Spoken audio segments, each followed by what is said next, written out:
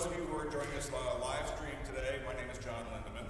I'm the administrator here at First Lutheran Church. Pastor Hopkins is quarantining at home for uh, the next several days following a positive, positive test in his household, his wife Carol. Uh, she's doing well, exhibiting some of the uh, milder symptoms of, uh, of the uh, virus, and we continue to pray for the Hopkins family. Leading us in worship today will be Elder David Liddy.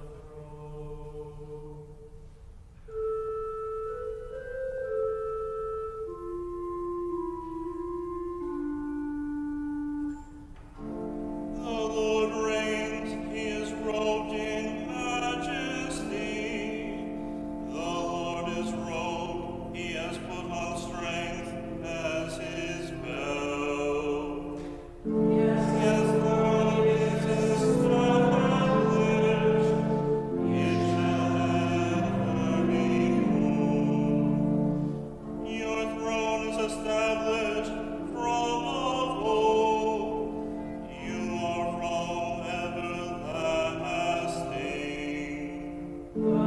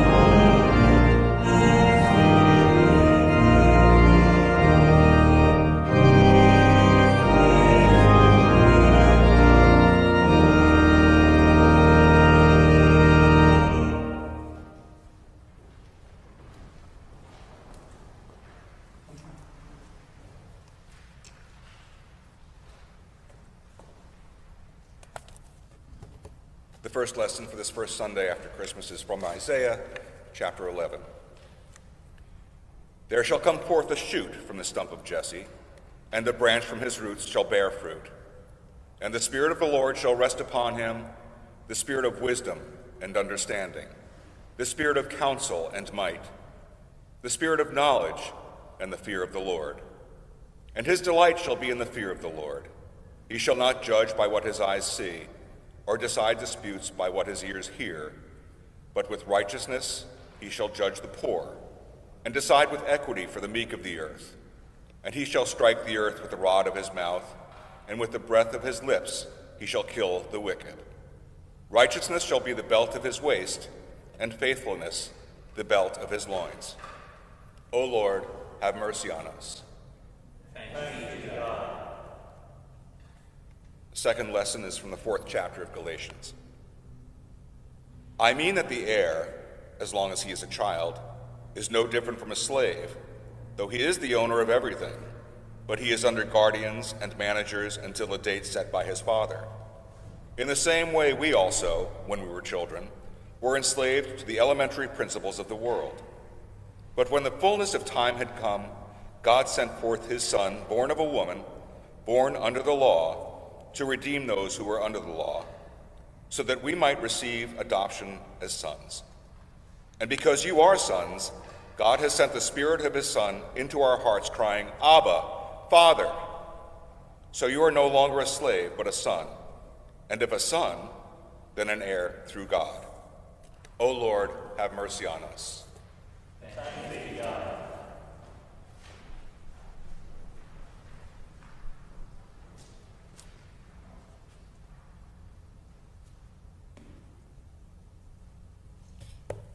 The Holy Gospel according to St. Luke, the second chapter. Glory to you, O Lord. When the time came for their purification, according to the law of Moses, Mary and Joseph brought Jesus up to Bethlehem to present him to the Lord. As it is written in the law of the Lord, every male who first opens the womb shall be called holy to the Lord. And to offer a sacrifice, according to what is said in the law of the Lord, a pair of turtle doves or two young pigeons. Now there was a man in Jerusalem whose name was Simeon, and this man was righteous and devout, waiting for the consolation of Israel, and the Holy Spirit was upon him. And it had been revealed to him by the Holy Spirit that he would not see death before he had seen the Lord's Christ. And he came into, in the Spirit into the temple, and when the parents brought in the child Jesus, to do for him according to the custom of the law, he took him up in his arms and blessed God and said, Lord, now you are letting your servant depart in peace, according to your word. For mine eyes have seen your salvation, that you have prepared in the presence of all peoples, a light for revelation to the Gentiles and for glory to your people, Israel.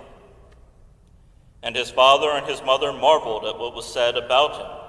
And Simeon blessed them and said to Mary, his mother, Behold, this child is appointed for the fall and rising of many in Israel, and for a sign that is opposed, and a sword will pierce through your own soul also, so that thoughts from many hearts may be revealed.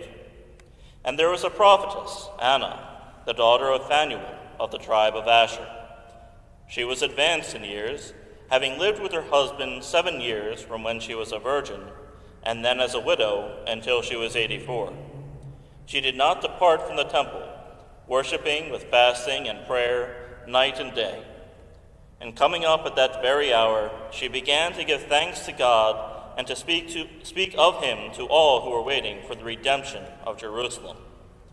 And when they had performed everything according to the law of the Lord, they returned into Galilee to their own town of Nazareth.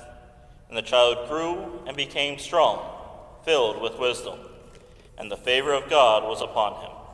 This is the gospel of the Lord. Praise to you, O Christ. The Word was made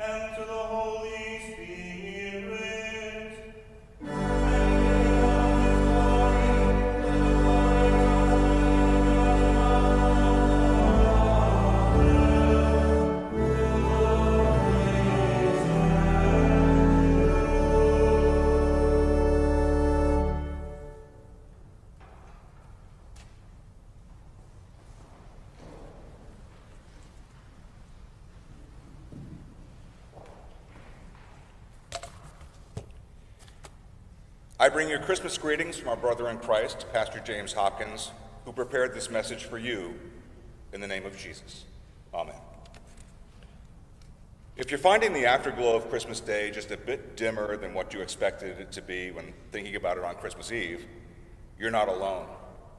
Even Jesus' mommy is a little bit troubled. In this morning's gospel text, it's been just 40 days since Mary gave birth, just over a month since there were angel choirs belting out hymns of praise, and unlikely visitors gathered around the manger to worship their new king. Jesus is still in swaddling cloths with that newborn smell.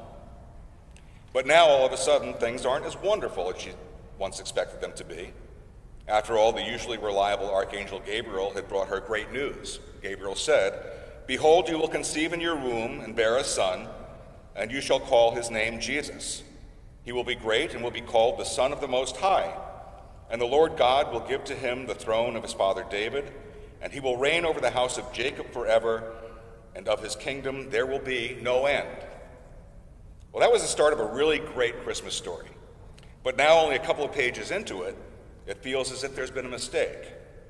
According to Luke, Simeon was getting all of his, his lines right, right up until the part where he said, Behold, this child is appointed for the fall and rising of many in Israel, and for a sign that is opposed, and a sword will pierce through your own soul also, so that thoughts from many hearts may be revealed. Well, those are troubling words, and Mary had expected nothing but joyful blessings. Instead, what she got was rising and falling, swords and pierced hearts. Maybe this year your Christmas isn't going the way you thought it should either. Maybe stress and frustration have already boiled over, while excitement and piety have simmered down. For that, you may be feeling like St. Mary, you know, a bit troubled or confused or crestfallen. That's what happens when we project our expectations onto others. Parents do it to their kids all the time, and kids do it right back. You may have had some expectations for the baby Jesus, too. One of them was probably the unrealistic hope that he would somehow, in some way, never grow up. Babies, after all, are cute and cuddly, more lovable and easier to understand than their adult counterparts.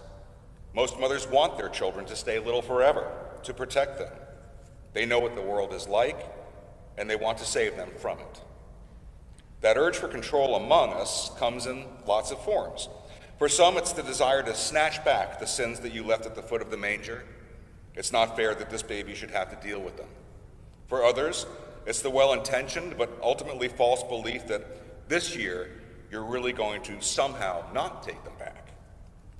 While that control is certainly on opposite ends of the spectrum, both responses attempt to take you away from Jesus, the very sins he's come to take away from you. So it's a wonderful thing that on a day like today, when we see familiar temptations on the horizon, that we can take our cue from old Simeon, led by the Spirit. Where Mary is now worried that Gabriel's prophecy may mean the death of her child, Simeon rejoices in the very same fact. He sees Christmas and Easter all bundled up in this little boy. This child, for Simeon, is the one he has been waiting for his whole life to see. God had promised him that he would not die until he set his eyes on the Lord's Christ. And here it is. He knows what Isaiah wrote. He knows that the Lord's anointed will be a suffering servant, but that's why he rejoices. That's why he says what he says. He starts with praises and light and salvation and revelation and glory and proceeds quickly to suffering and death. Simeon is telling Mary and Joseph, and you and me, that the glory of this child is not fully known in a manger, but on a cross.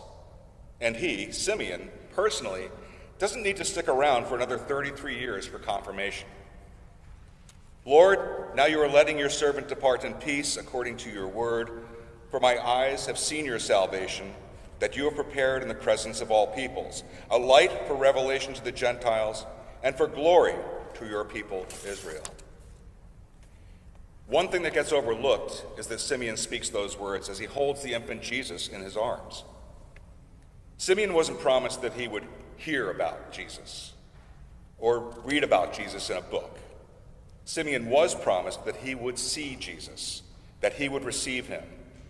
There in Simeon's arms is the creator of all things. He can leave the temple, there is nothing left there for him. The new temple is child sized with a capital C. Now Simeon can die and enter into the very kingdom he so recently held in his arms. Perhaps that's what inspired the famous reformer Martin Chemnitz to comment that one should approach the Lord's Supper as if he were going to his death, so that when one goes to his death, it will be as if he is going to the Lord's Supper, especially when you consider that you are.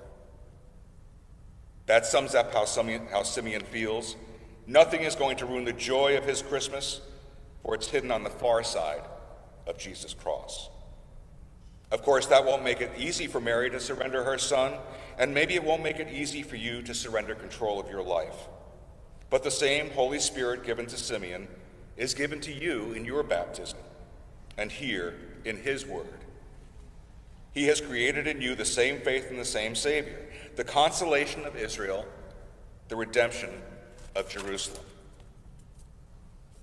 So if the afterglow of Christmas is dimmer than you expected, take heart that the light shines forever, not from an empty manger, but from an empty tomb.